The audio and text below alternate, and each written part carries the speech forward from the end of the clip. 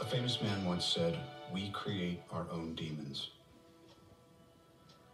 Who said that? What does that even mean? Doesn't matter. I said it because he said it. So now he was famous and it basically getting said by two well known guys. I don't, uh, I'm going to start again. Let's track this from the beginning. Yo, listen up, here's the story about